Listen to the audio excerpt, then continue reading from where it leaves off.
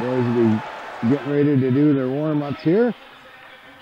Here we go. Windigo with the face-off against Price. She's getting helped by Windigo. Windigo now has it. Windigo with a shot! And he snipes one just over the left pad of Moreau.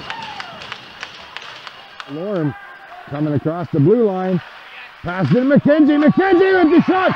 And a rebound score! What a rush buddy. ISA Eagles. Stimson. Stimson to Corrals. Corrals moving it in. Corrals goes for a shot. Chauncey Jack makes the glove save. Comes the Eagle zone. Sawatsky passes the cross. Shot and glove saved by Chauncey Jack. Corrigal cycling it. He goes along to the side. He gets a shot in and snipes one in. Corrigal, three for three in the way.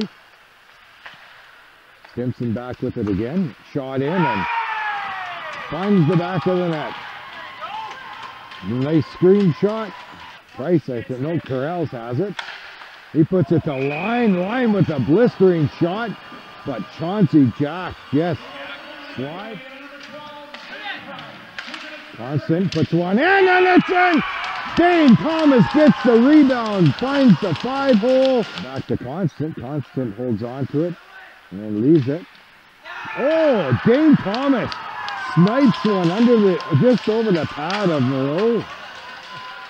Just missed by Steinauer George. Now Sawatsky coming in all alone, but shut down with his blocker by Chauncey Jack. Oh, Going past the Windigo. Windigo with some speed coming in by himself.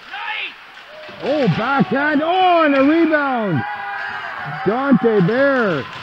Eagles in the way. He picks it up again, though. Pass it off to the side. And a nice pass. Cross. Cross. Nice pass and backdoor goal by Brown. That does it for the second game of this weekend. Eagles walking away with a two-game win at home over the very talented Pilot Mountain Buffaloes.